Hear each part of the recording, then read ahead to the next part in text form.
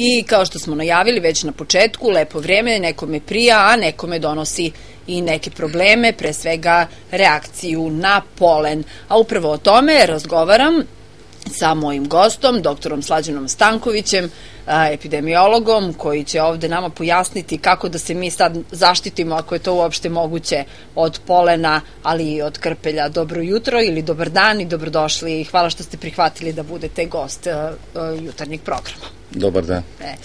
Doktore, zanimljivo je da mnogi od nas imaju problema, lepo je vreme, svi volimo u šetnju, ali sa tim nekim prednostima lepog vremena odmah budu crveni nosići, zatvorene oči i šta su već simptomi tih polenskih kijevica, pa šta se dešava u vazduhu u našem gradu? Je li ima baš uh, puno polena? Jesu velike koncentracije? Pa sada su karakteristični poleni drveća, znači pre svega graba, vrbe, e, breze, jasena, e, ti poleni dominiraju prema prognozi koja se nalazi na sajtu Zavoda za javno zdravlje Vranje e, i naredne nedelje će oni biti znači u porastu.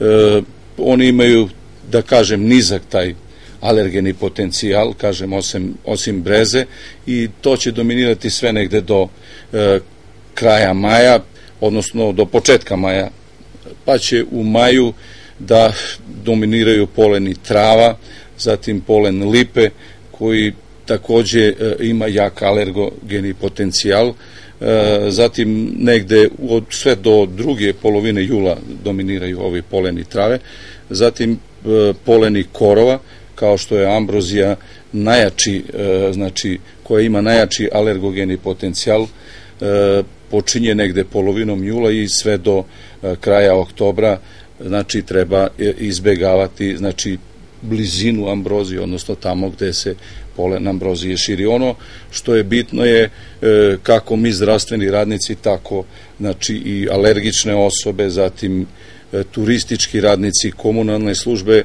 je da pratimo e, stalno svakodnevno stanje koncentracije polena i prognozu za naredni period, odnosno za naredne nedelju.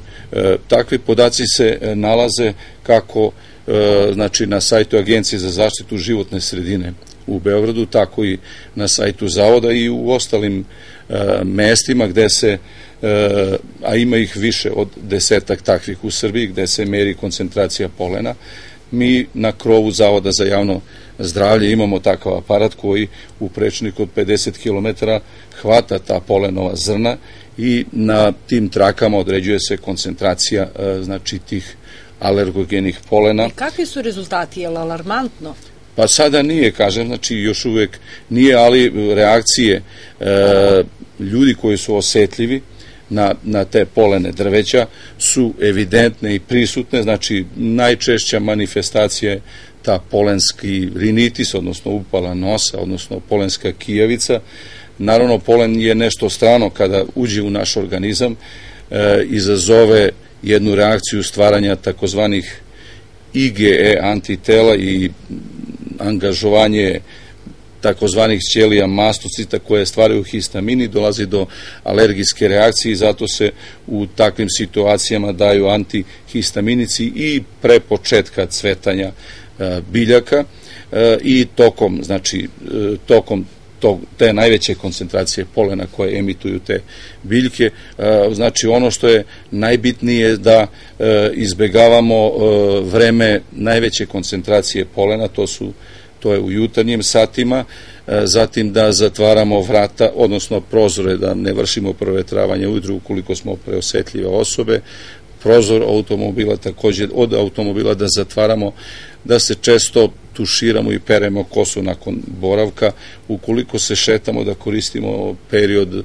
znači kada je posle kiše ili u večernjim satima, e, takođe da ne držimo veš na terasi jer e, vlažan veš može da se kupi dosta polena, znači da uzimamo tu redovnu terapiju pre početka da. aktivnosti biljaka alergogenih i znači to su neke mere koje mi možemo uopšte ne da primenimo i da stalno pratimo e, ukoliko idemo na godišnji odmor da pratimo kakvo je stanje e, polena na, na koje da. smo osetljivi naravno kroz te kožne probe, ne, e, probe možemo i utvrditi tačno na koju smo e, na koju smo polen osetljivi polen koje da, biljke. Da vas pitam nešto, e, ima ljudi, sve više zapravo ljudi koji imaju alergije to je zapažanje sad alergije na polen ili na hranu ili sve, ali e, kod polena e, često bude privid da li se radi o prehladi ili je neko alergičan. Koji su to simptomi? Ili to curenje nosa ili pečenje očiju? Ili, e, kako možemo znati da je zapravo polen uzrok tih nedaća koje osjećaju ljudi kada imaju tu alergiju, koja može biti stečena, je li tako? Da. Pa lako može da se utvrdi kod virusnih tih rinitis, odnosno upala nosa, odnosno kijavica, e, njihov sekret, odnosno iz nosa je malo gušći, dok je kod alergijskih vodljikav. E, te virusne infekcije kratko traju, nedelju dana. E, takođe, kod alergijskog rinitisa, odnosno polenske kijavice, postoji nadražajan, jak, jak nadražaj na kijenje, po nekoliko puta kijamo, E, naravno, alergijske e, kijavice se javljaju samo u tom periodu godine. E, znači, to je karakteristično.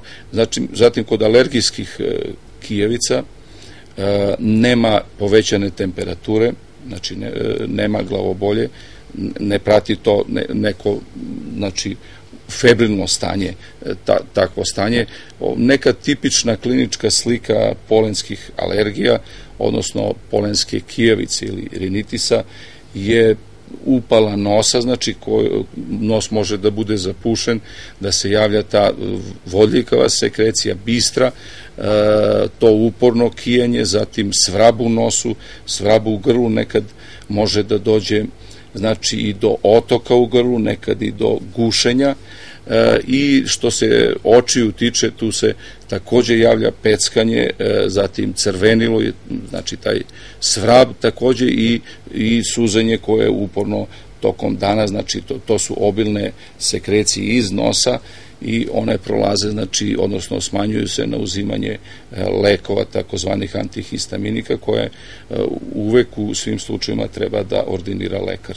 Da, a recite mi, ukoliko se propusti ta terapija, pa ima slučajeva kada ljudi misle da će proći, kada ne identifikuju da je problem sa alergijom, nego misle da je prehlada, pa bi da prođu bez e, antihistamina. Koji su rizici polenskih tih alergija?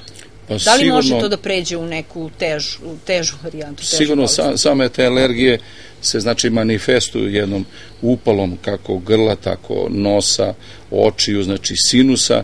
E, mogu te infekcije gornjih respiratornih puteva da se spuštaju donje disajne puteve i da godinama, ukoliko godinama se ne reguliše, odnosno ne e, leči ta polenska alergija, mogu da dovedu kako do hroničkih bronhitisa, tako i do znači hronične astme, e, alergijske asme koja je daleko teža po pacijenta.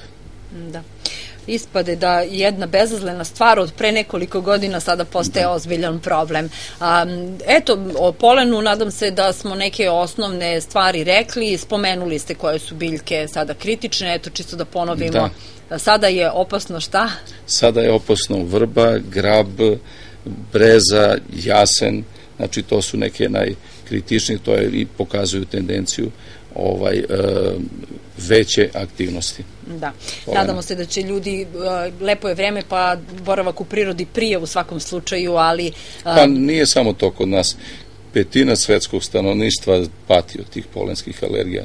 Eto i to da se kaže i da je Svetska zdravstvena organizacija tek 2003. godine to uvidela i upravo e, postoji mreža tih e, ovaj, klopke, odnosno aparata koji mere koncentraciju polena kako u Evropi, znači postoji evropska mreža i naša nacionalna mreža koja prati i daje znači, preporuke i savete stanovništvu odnosno znači da se stalno prati, da se vrši monitoring polena kako bismo znali da se ponašamo bilo kad je u pitanju prevencija, bilo kad je u pitanju ovaj terapija tih polenskih alergija. Dobro, ali polen nije jedini uh, naš neprijatelj kada smo u prirodi i kada ovako se oprostimo od zime i jedva dočekamo lepo vreme, bo, uh, travnjaci mogu biti puni krpelja, je sada da li je to slučaj u ovom periodu?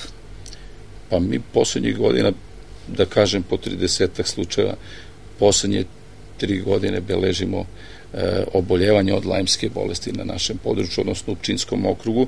Ove godine smo od početka godine registrovali dva, dva oboljenja od lajmske bolesti. E, znači ima ih, sada je period njihove najveće biološke aktivnosti. Znači ono što možemo mi e, kao pojedinci prvo da preduzmemo, znači kako bi prevenirali da ne dođe do uboda krpelja je kada idemo, bilo da radimo te poljoprivredne radove, bilo da uživamo u prirodi, u parkovima, na sportskim terenima, e, na izletima, znači svuda tamo gde ima trave, gde ima niskog e, žbunja, šipražja, e, tamo ima krpelja, znači do nekoje visine od 70 cm od zemlje i mi, znači, treba da to imamo na umu i da se adekvatno zaštitimo odećom, znači nošenje dugačkih rukava, nogavica, e, nošenje rukavica, nošenje kape, znači to je što, što mi možemo da preduzmemo, sad repelenata nekih imali, najbitnije je znači o, staviti nogavice u čizme, e, nositi rukavice, nositi naočare, e, nositi kapu, prekriti telo, znači što više i pri dolasku iz prirode pregledati telo na prisutstvu krpelja i pored toga što smo se tako dobro znači pripremili e, i ukoliko se primeti e, da se krpelj zario u kožu, ne treba dirati nestručno, e, sigurno to su apsolutno, znači, takve preporuke da se ne dira krpelj, jer mi nismo vični da ostranimo krpelja, nismo stručno za to osposobljeni, treba se javiti Ali ima alternativnih rešenja. Pa naravno ljudi... ljudi stavljaju benzin, su, alkohol da, i sve, veliki su daleko, rizici zbog toga. Da, da, koji su daleko od zdravstvenog sistema e, u planinskim predelima. E, nekako su se izvežbali pa i oni skidaju to. Znači kontra od smere, ka, smera kretanja kazaljke na satu. Naravno stavljaju i te tečnosti, alkohol da bi se to pripomoglo. Međutim, u takvim situacijama u nekim slučajevima je uspešno vađenje, međutim nekada dođe do kidanja krpelja, zaostajanja rilice i znači duži boravak dela krpelja u telu je veći rizik za zaražavanje. Naravno nisu svi krpelji zaraženi, po nekim istraživanjima koje je radio Vojno-medicinska akademija na području Beograda, pa smatra se i na području Republike da je 30% zaraženih krpelja. E, međutim, mi ne možemo razmišljati o tome da li krpelj jeste ili nije zaražen. Naravno, ranijih godina se e, uzimala ta preventivna profilaktična antibiotska terapija u trajanju od desetak dana. Sada se taj stručni stav napušta, e, uzima se i daje se terapija od strane infektologa samo u slučaju pojave kožnih promena e, na mestu uboda, a one izgledaju kao znači okruglo crvenilo prstenastog izgleda koja se širi i koje je značajno tek ukoliko je veće od 5 cm u prečniku, znači oko mesta uboda. Naravno, mlajemska bolest nije neko oboljenje koje je toliko opasno, međutim, e, ukoliko se ne leči, ne prepozna, ukoliko se ne primeni terapija nakon pojave tih kožnih promena, e, može da bude opasno da poprimi drugi stadijum, znači sa promenama na srcu, u smislu poremećaja srčanog ritma, zatim ona se tako i zove na, na mozgu kao neuroborelioza, odnosno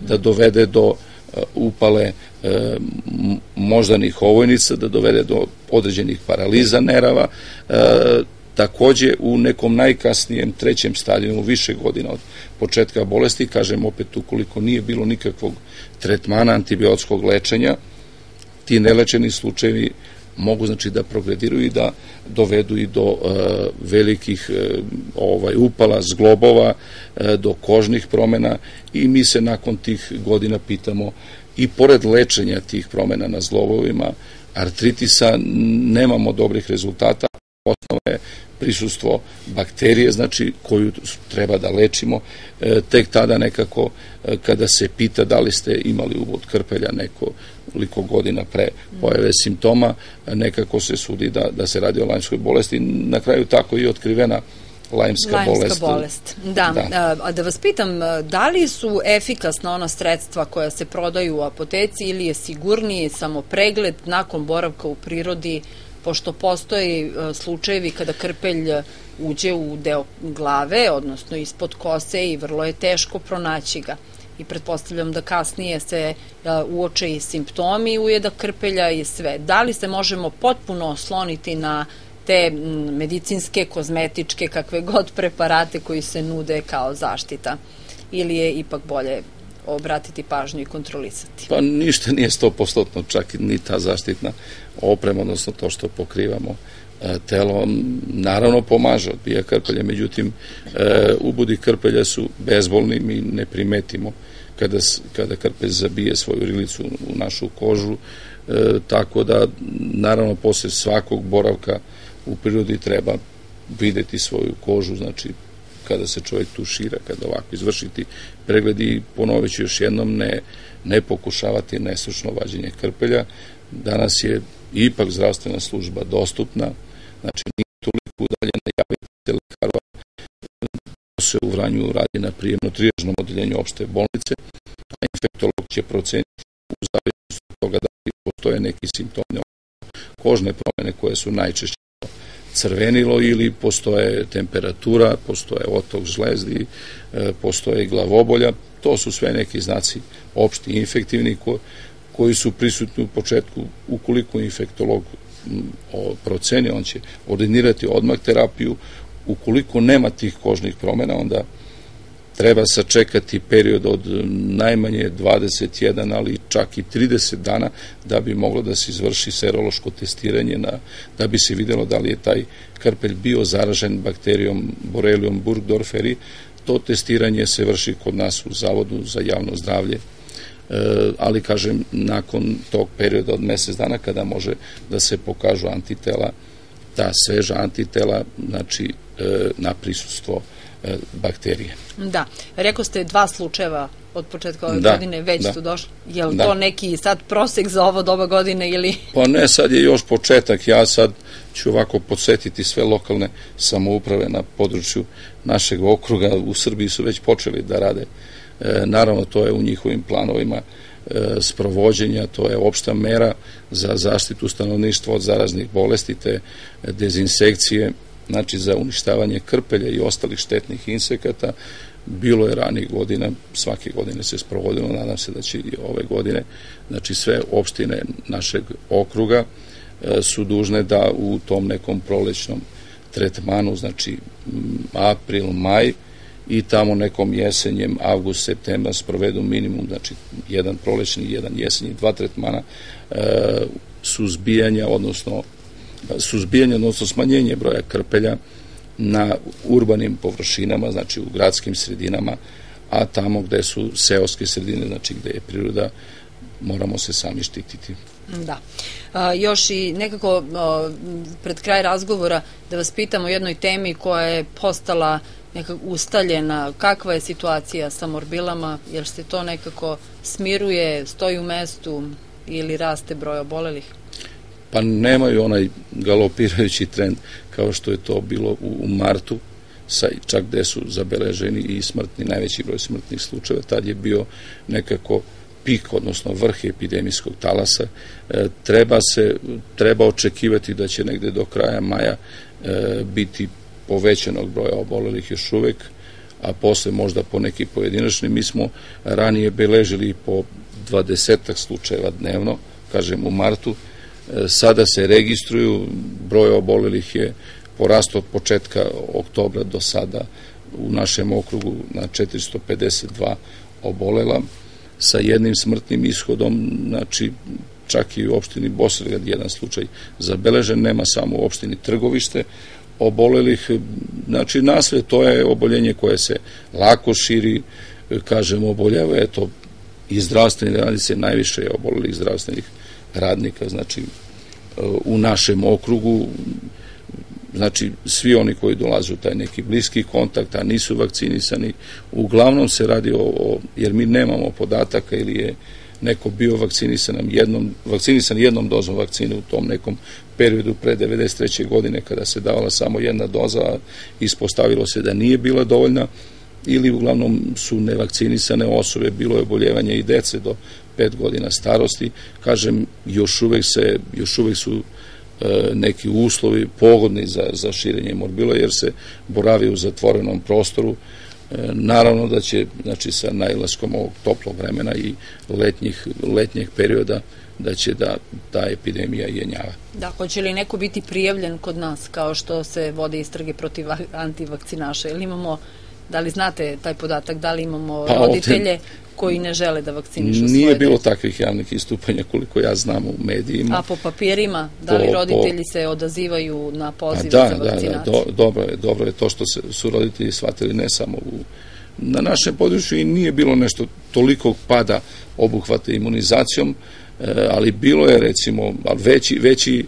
e, pad bio je u većim sredinama Beograd, Niš, e, to se i pokazalo tamo da je veliki broj obolelih, Ovde recimo tačno u opštinama gde je bilo e, manjeg obuhvata vakcinacijom, recimo negde 60-70% kao što je da, da. Surdulica, Vladičin Han, tamo je i došlo do, do velikog epidemijskog javljanja morbila.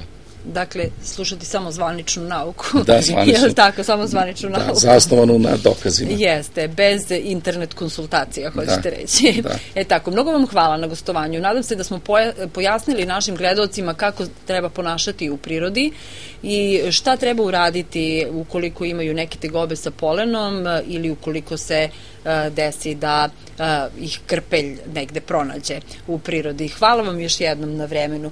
Vi, poštovani gledalci, obavezno imajte na umu da su e, eto te alergije, polenske alergije nekako uobičajena stvar u ovo doba godine. Pazite na vreme kada izlazite napolje ukoliko imate takvih problema. Ukoliko boravite u prirodi, obavezno samo pregled tela nakon što se budete vratili kući da neki krpelj slučajno nije došao sa vama. Ovaj razgovor možete pogledati na našem YouTube kanalu.